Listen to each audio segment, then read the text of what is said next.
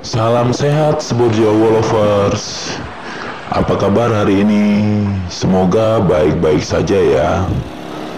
Kali ini saya berada di JPL 08 tepatnya di Jalan Ketintang Surabaya. Semoga video-video yang saya sajikan bisa menghibur kalian semua. Selamat menonton.